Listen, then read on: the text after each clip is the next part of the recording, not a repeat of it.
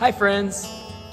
Yesterday, I told you about the summer when my sister, cousin, and I pulled horse weeds out of a soybean field on the family farm.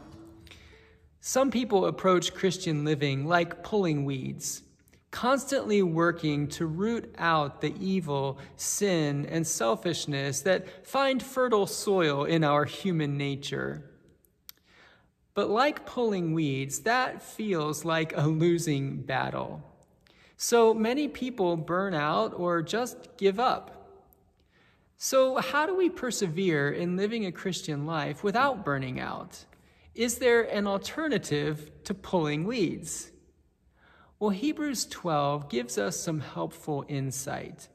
In verses 1 and 2, it says, Let us run with perseverance the race that is set before us, looking to Jesus, the pioneer and perfecter of our faith. One remedy for burnout is to look to Jesus, or as some translations say, to fix our eyes on Jesus. Let me tell you why my sister, cousin, and I persisted in pulling horseweeds that summer. When the work was finished, my dad promised to take us on a canoe ride in the new canoe that we had just bought. When we got hot and tired and dirty, we set our mind on that cool, wet, refreshing canoe ride, and we kept going. The promise of what was to come was an inspiration to continue the work. Fixing our eyes on Jesus is more profound than simply grim determination to follow the example of the perfect Master. Setting our mind on Jesus is about having an object of inspiration, which then drives us to express something about it. Think about how painters pursue their art. They see all of the same things that we do.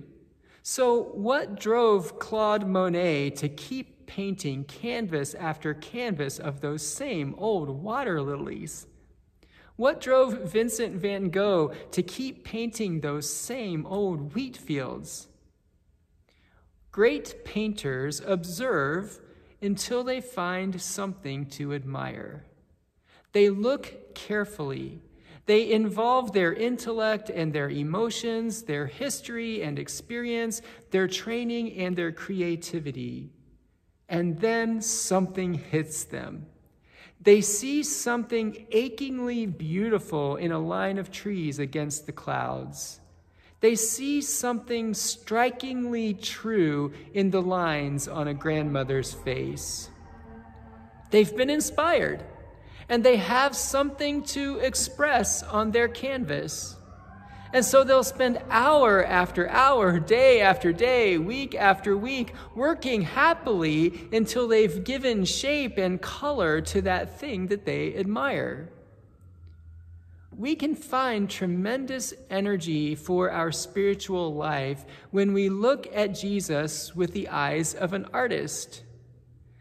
Jesus inspires us to persevere not by giving us a long list of duties to perform not by laying a guilt trip on us, not by threatening us, but by being a personal friend, a person we can admire. Jesus inspires us by showing us beauty and truth, and it strikes us in a way that drives us to express something about it. Living a vital and sustainable faith requires us to shift our focus from pulling weeds to admiring Christ. Pulling weeds keeps our focus on sin, always pointing it out or shaking a finger at it or trying to avoid it. Admiring Christ keeps our focus on Jesus and his example of faith and peace, joy, hope, and love. Now, don't get me wrong, there are definitely things that we should do our best to avoid and to guard against. But if we shift our focus from the sin that we avoid to the Jesus that we admire, we can begin to express something beautiful about God. If we shift our energy from fighting off temptation to persisting in doing good, we can persevere without burning out. If we shift our spiritual paradigm from pulling weeds to painting masterpieces, then we will find deeper meaning and greater fulfillment.